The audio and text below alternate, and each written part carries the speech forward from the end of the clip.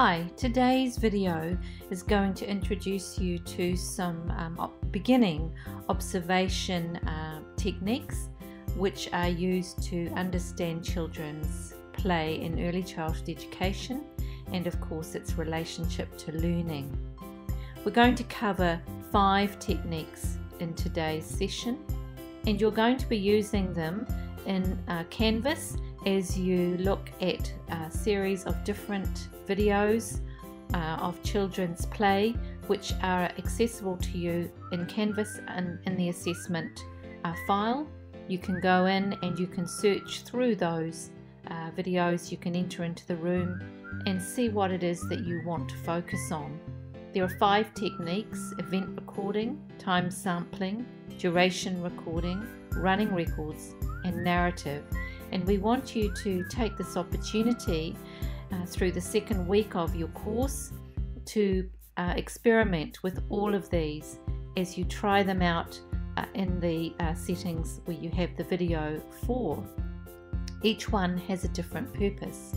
An event recording, to start with, records an event.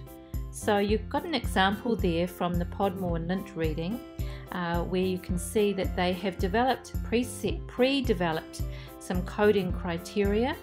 And then they have um, developed written uh, short excerpts when they when when those particular events are seen. Um, and perhaps put some time on. Time sampling is the second technique and this one records over time. So you would draw up a sheet with time intervals. So here we've got every 15 minutes um, and again looking at a specific criteria. Here they're looking for cooperative play by child. So uh, you can choose um, how you what you actually look for around notions of play and based on the things that you think are important. The third technique is called a duration recording and it is what it says. It records durations of time. So again, you're going to have some criteria that you select um, and with with criteria that you would code against time. And you're going to look at how long things happen for. So this might be a great way of looking at certain play context so how long is a child playing in the play-doh? How long is a, pl- a child playing in dramatic play? And so on. The next uh, technique is called a running record this is a much more detailed, I've only given you a short excerpt here, but it's a much more detailed form of recording. You record every little detail. You set the scene with the date, the children, the time, the weather, that's important, their ages or age if it's an individual child, and you would record in absolute detail. This one you would not do over such a long period of time. Here you see that it's been over 10 minutes and that will be plenty for a running record. A narrative recording, on the other hand, might record over a longer period of time, and in early childhood context, it might even record over days or weeks.